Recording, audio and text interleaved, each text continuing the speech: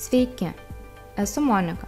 Šiame video noriu pristatyti Bluebeam Revu bendradarbiavimo ir failų saugojimo debesyje funkciją Bluebeam Studio projektus. Norint pradėti, reikalinga bet kuri Bluebeam Revu versija ir interneto ryšys. Įsijungus Bluebeam Revu pasirinkti studio funkciją. Tada reikia susikurti savo paskyrą ir prie jos prisijungti. Prisijungus prie paskyros matysime, kad galime pradėti naują sesiją arba projektą. Šiuo atveju pasirinksime projektą. Spaudžiame Start New Project. Įvedame projekto pavadinimą. Tada dešinėje atsiranda opcijos pasirinkti, ką norime įkelti. Sukurti naują aplanką, įkelti failų ar įkelti visą aplanką. Šiuo atveju pasirinksiu paskutinį variantą. Pasirinksiu jau anksčiau sukurtą aplanką esantį kompiuteryje. Kaip matome, įkėlus aplanką jo struktūra išlieka ta pati, kaip ir buvo sukurta anksčiau. Struktūrizuojame aplankai ir juose esantis failai. Matyti, jog į studio projektą įsikelia bet kokio formato failai – paveikslėliai, Excel, Word dokumentai ir žinoma PDF. Dabar atsidarysiu PDF formato dokumentą ir parodysiu bendradarbiavimo ir redagavimo funkcionalumą.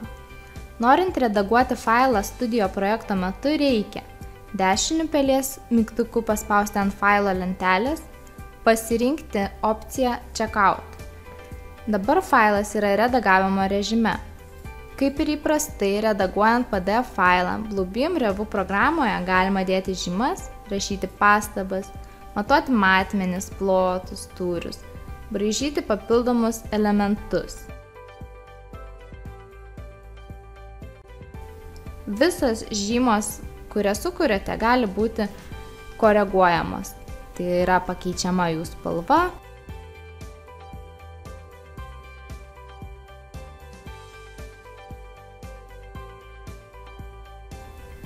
Visos žymos keliamos į žymų sąrašą. Rodoma, kas, kada ir kokią žymą sukūrė, žymos statusas ir kita informacija. Baigus koreguoti dokumentą, reikia išeiti iš redagavimo režimo analogiškai paspaudžiant Check-in. Čia atsiranda galimybė pasidalinti komentaru, kad kiti studio projekto dalyviai matytų korekcijas, kurias atlikote. Tai parodyti galima dešiniu pelės klavišu paspaudus ant redaguoto failo ir pasirinkus Revision History. Matome, kas ir kada peržiūrėjo dokumentą bei kokį komentarą įrašė. Nors studio projektų failai saugojami debesyje, juos esant reikalui galima parsisiųsti, spaudžiant dešiniu pelės klavišu ant failo ir pasirinkus Download. Failo kopija išsaugojama kompiuteryje. Studio projektas yra failų ir komentarų dalymosi platforma, todėl projektui reikalingi dalyviai. Dalyviai kviečiami per settings, įvedamas kviečiamo asmens elektroninis adresas ir išsiunčiamas pakvietimas. Dalyvis gauna kodą, kurį naudodamas gali prisijungti prie projekto. Studio projekto administratorius turi galimybę kontroliuoti dalyvių veiksmus, suteikti leidimus atlikti kai kurias administracinės funkcijas arba apriboti. Studio projektas matomas ir pasiekiamas tol, kol projekto administratorius tai leidžia.